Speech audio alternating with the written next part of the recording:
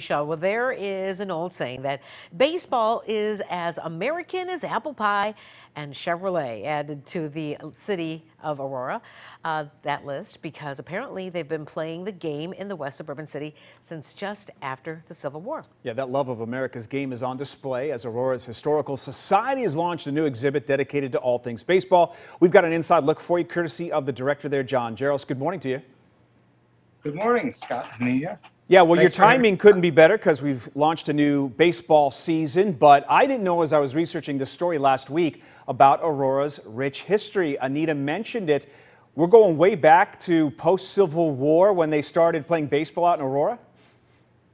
Yes, uh, right around the end of the Civil War era in the 1860s, we had uh, the game starting to become popular, and then through the 1870s and the succeeding decades, uh, it gained, gained even greater popularity. And uh, we had lots of uh, many, many local teams, and neighborhood teams, clubs, uh, churches, different organizations.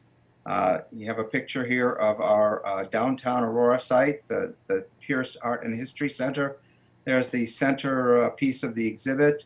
Uh, we also had a, a great tradition of fast pitch softball in Aurora with the Sealmasters.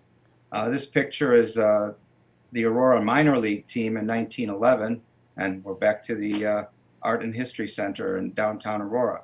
Oh. Uh, we've had so many different uh, iterations of baseball and softball. Uh, again, fast pitch softball uh, came around in the 1920s and 1930s.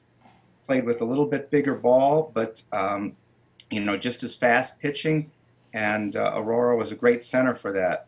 Um, and and here, uh, Pugs Colts and on the team of the 1890s. Uh, Really uh, interesting stuff you've got there. Uh, out of all of the images that you know you've seen that are out there, and we've seen some of them here uh, as they scroll through, which one do you think are going to impress people the most? Well, you know, there's a couple of pictures. Uh, there's a couple of very early pictures. Uh, we've got one.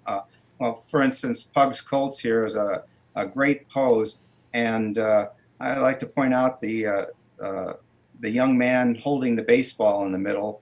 Uh, the young man of color later became a uh, uh, star in the Black Professional uh, Baseball League, Hmm. and Well, that's interesting. I think there's a, there's a picture of the uh, the Aurora minor league team. Oh well, here's There here's go. one because it's the Cubs. It's the Aurora Cubs from 1907. Nice. Uh, All right, all right, that so was it's- a popular name. It's COVID. What do you want people to know uh, about reservations and social distancing and all that good stuff?